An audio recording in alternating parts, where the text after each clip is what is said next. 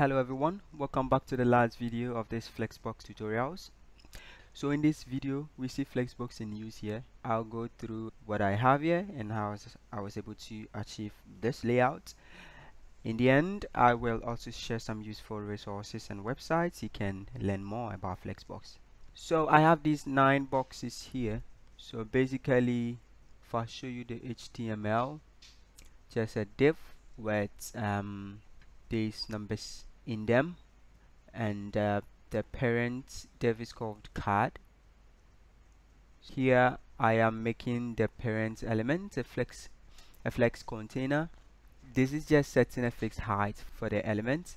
I'm setting the flex direction to row so I mean this is just the default flex direction which means that the main axis is from left to right and the cross axis is from top to bottom now I'm saying flex wrap and that is the reason why I am able to get these ones down here. Without the flex wrap I will have all of them stacking side by side struggling to fit inside the container. And you also notice that because we don't have this flex wrap the item does not obey the width set for it. So if I go here I've set a width for the item width and height 100 pixels here. But because there is no flex wrap does not obey the width and height. So when I bring back the flex wrap it's now starts obeying the width and height set for it. And that's because it can wrap when it gets to the minimum width of the container right?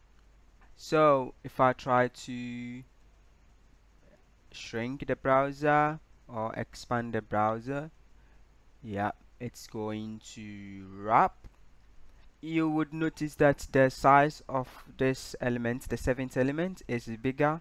That's because I've set the flex grow as 2 so based on the space available for the flex items going to occupy the rest of the spaces available after the default.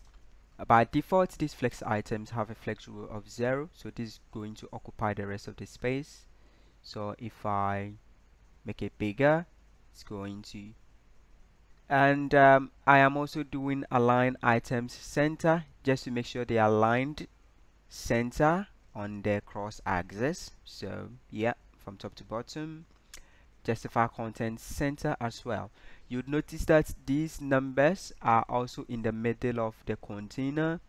And this is possible and easy because um, these containers are also flex containers themselves right so you see a display flex here and then I do align item center justify content center to be able to center this uh, text in these containers. I mean the limitation is just uh, up to you. You can have flex containers inside flex containers inside flex containers. I mean just to achieve whichever layout you want to achieve. So layouts are much simpler because of flex boxes and understanding how to use these flex boxes makes our life a whole much easier. So to learn more about flex boxes, some few websites, you can actually uh, check them out. I would put the links to these websites in the description so that you can have access to them easily. So when you go to CSS Tricks, there is a, a complete guide to flexbox. It's a very very very good guide. Uh, it will teach you a lot about flexboxes. So you can just go to this site and learn more about flexboxes here. The next one is css reference. So when you come to the flexbox section um, it also contains very very useful information and good examples about flexboxes which you can find here. So I'll leave the link in the description. You can check this out. Now I find these ones very interesting as well. So this is a Flexbox Froggy. It's basically a game to help you understand Flexboxes well.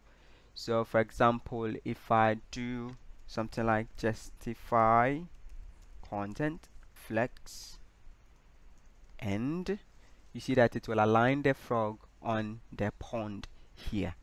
You go to next this one is going to be justify content center. So you can just do justify this content center like this and then it will align them perfectly on their respective points. So basically this is going to help you improve your knowledge by playing a game. It's a very fun game to learn flexboxes so try and check this out. And this one is very similar to the previous one. It's also a game.